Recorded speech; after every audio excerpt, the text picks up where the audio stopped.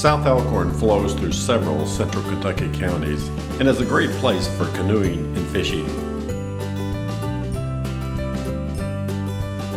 The beauty of the creek can be seen year-round.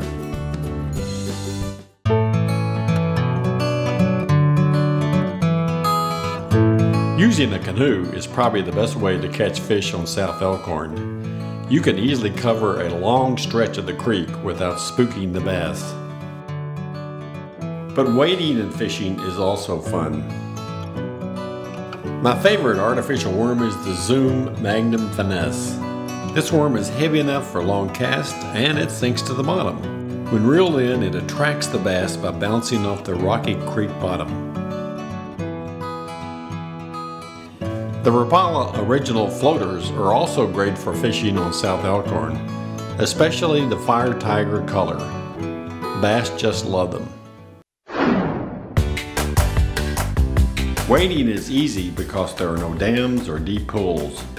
Also, the creek has a good flow rate even in dry weather.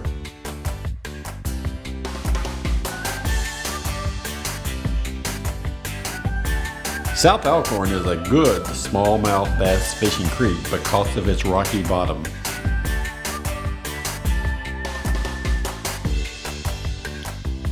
Smallmouth are such fun to catch because they never give up. Pound for pound, they are the toughest fighting freshwater fish.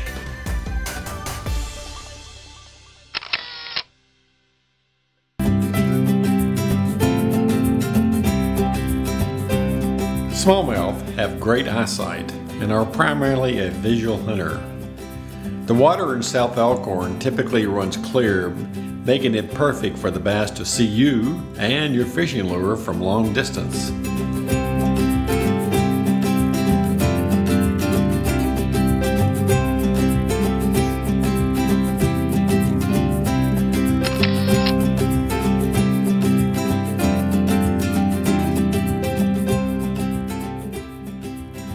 Fishing is best on South Elkhorn during spring and early summer.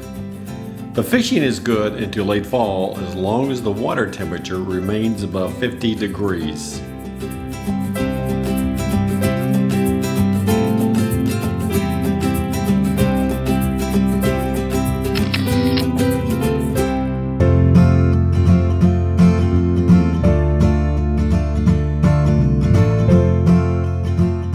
Long casts are important when the creek water is clear and low to avoid scaring the fish.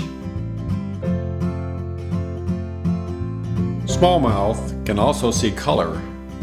That's why the color of your fishing lure is important.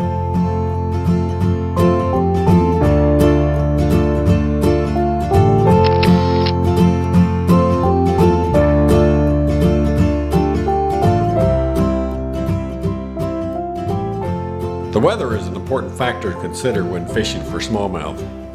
Bright sunny days with high barometric pressure are the worst. The best days are when the barometric pressure is low and it feels and looks like it's going to rain.